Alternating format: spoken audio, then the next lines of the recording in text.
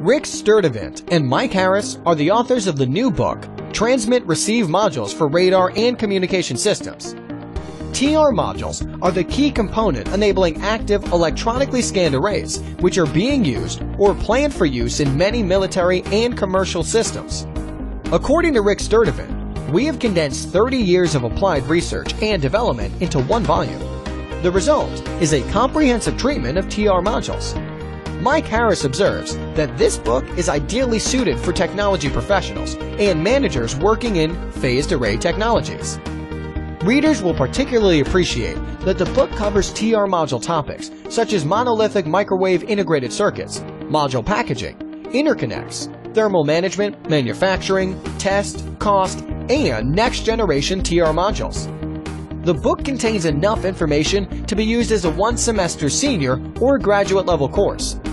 Each chapter contains problem questions to increase reader benefit. It is also a good reference for a three to five day professional education course. The book can be purchased on the Artech House website at artechhouse.com or on amazon.com.